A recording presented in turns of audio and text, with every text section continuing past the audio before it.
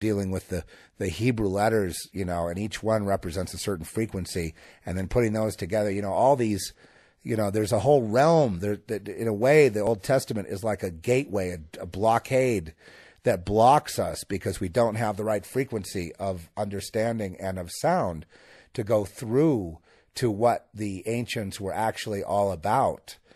And we're not seeing, you know, we see the angry God Yahweh striking down the, those evil sodomites, and we don't we don't understand. We don't understand. That's not really what the Bible is saying. That that's a surface understanding. There's a deeper meaning to it. In other words, I'll just take it take that example, Sodom and Gomorrah, and uh, you know it's uh, it was all about Abraham pleading the case.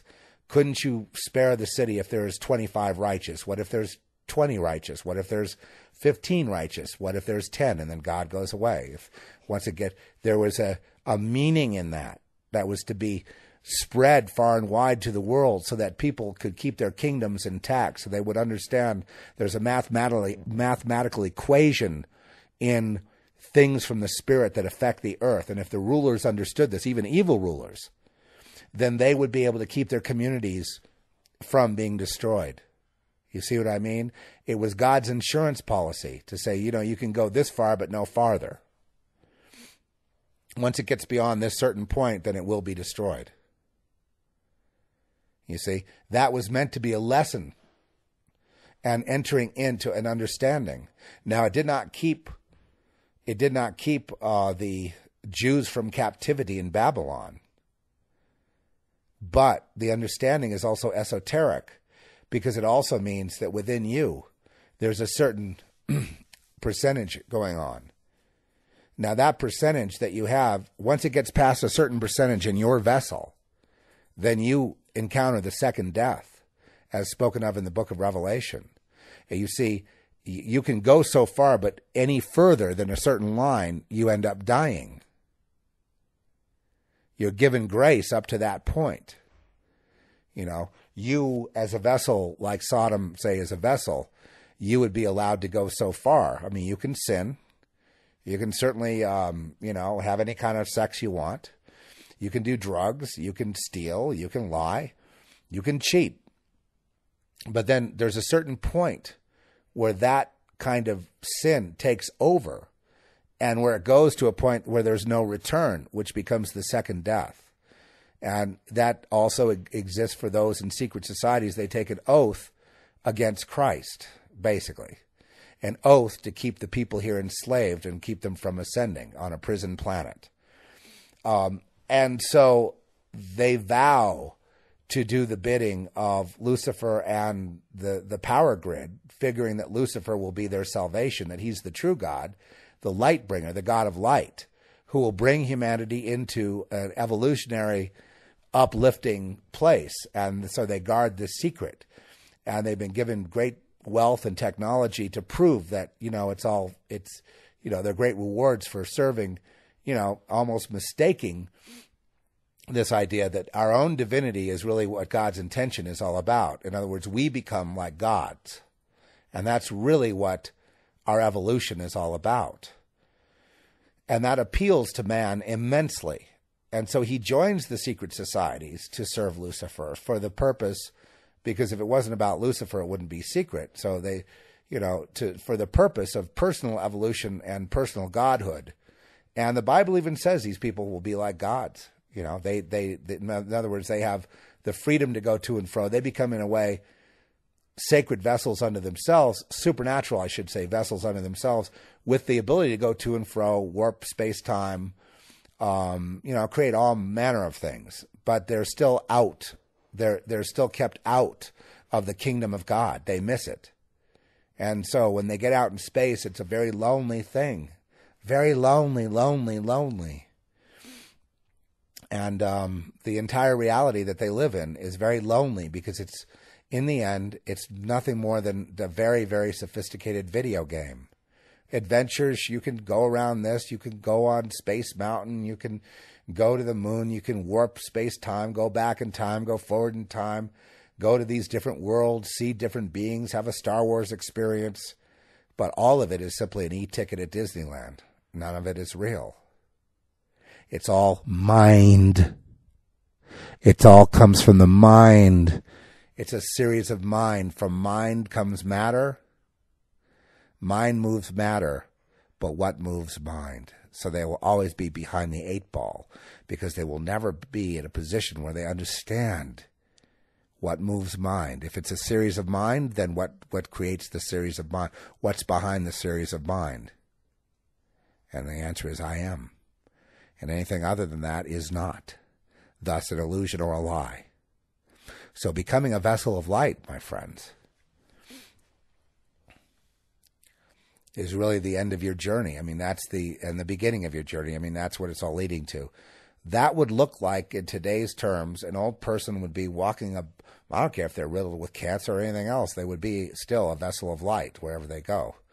They would not be affected one way or the other by wars, earthquakes, rumors of wars, um, you know, financial ups and downs. It wouldn't, nothing really, you know, they just, it, it's got nothing to do with what, there's a different plane of existence there that those things don't, wouldn't enter in because they're not going on at that plane, yet they would still be with us upon the earth, but they wouldn't be completely flesh, if you understand my meaning there.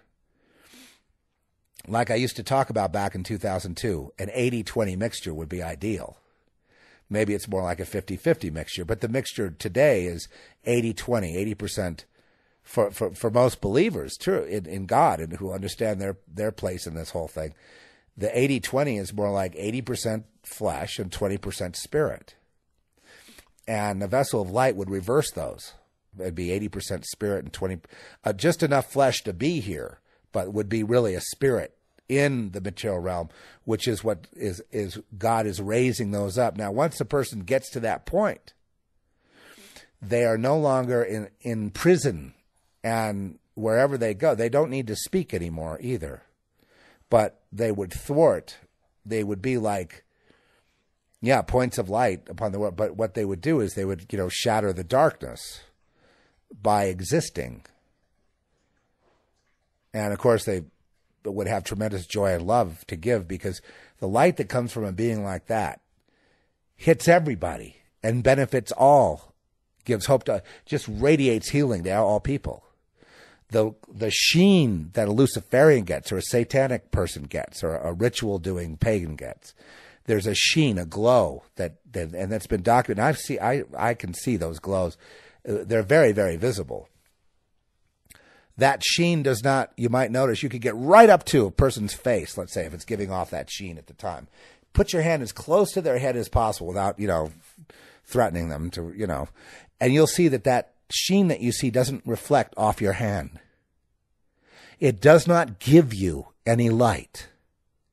Their ships, when they travel, their spheres, they are illuminated. If they come into your room or if they, you know, you might see them, these orbs a lot of times those are witches, you know, that's their broomstick is the orb. They jump in the orb and go somewhere, right? anyway, they um, you may notice they glow in the dark, but you could go right up next to it, put your hand next to that orb, and it doesn't give your hand any light. It doesn't give you any love or any light. It only takes. It's a parasite. It takes to, to produce that energy it's producing for all the things it is. Very high technology. But what it's doing is sucking in light from the atmosphere around. When I when you are God's vessel of light, you give the light for free to everybody. Light meaning, you know, really in its very essence, the logos or the word or Christ. Light is a very fierce term because it, it, it is literally the thing that gives life to mankind. The force that actually causes man's heart to beat. And when a being radiates this light, one that is of refractive light, that illuminates in the darkness but gives off no light to anyone else. They can't stand next to that because that light being um, eliminates the other being. In other words, they disappear into the darkness one light being the true light, one light being the manufactured light that gives the sheen to those who do. See, because a ritual is simply technology. It's not just about the, the evil, you know, killing of the baby to, you know, please the God, and then the God manifests, and everyone gets a sheen. Um, you know, understood. You know, that's a big thing. Um, a lot of premature. You know, there's a lot of breeders out there that give. They have like a premature abortion, right? And then that fetus is used in the to make it legal. the fetus is used in the ritual to make it legal. Um, but this is all folly upon them. But they do get a sheen when they do it. When they come out of a ritual like that, you'll see they have a sheen on them. They have powers. They can they decide they want you to trip and fall down the road when they're behind you and you, and you trip and fall. They decide that so and so should have a traffic accident and lo and behold they get you know what I mean? They get powers to a certain right, but it, it all applies it all has to do with identifying the material world as the real realm, to be used in this realm. They want to expand this material realm to all the stars and wormholes and just like you had that Norway uh, portal that opened up in Norway this last year, and, and most people didn't understand they're opening up um, wormholes and grids to you know back in time, forward in time, you know, through the space time continuum. And most people just thought it was you know some kind of a laser or something. They didn't understand that it was like a portal. It's like a like a, a Stargate, you know. So, but but what can anyone do about it? How's that going to benefit anyone? And it makes a little manifestation, and you see it. More troubling are the earthquake uh, uh, sonic earthquake machines that use sound and frequency. HAARP can do this to create. Um, my proof is for you musicians uh, when you use sound um, and you use a filter on, say, a, a synth bass on your synthesizer, and then you put a filter on it to, to, to really bring the low out, and you're filtering it, and then you punch that you can actually break your speakers and your eardrums with that. How many of you have come close to damaging your equipment or your ears by playing with filters and bass? You know, using a filter on a bass. You know what I'm talking about? Okay, well, so the earthquake weapon is very similar. You you simply are amplifying that low frequency, which is what happens when you filter a bass. You're amplifying that low frequency, and then that starts popping your speakers. You may not hear it, but you feel it. Okay, go down a few more octaves and you can't hear it at all, but it can actually break a mountain into a million pieces. Okay, this is a sonic weapon. All right, some of these are used now for crowd control, for called non-lethal weapons, but they will break your eardrums. And um, you know they kind of try to keep this a secret, but I mean they can move the earth. They can cause a pole flip with this stuff.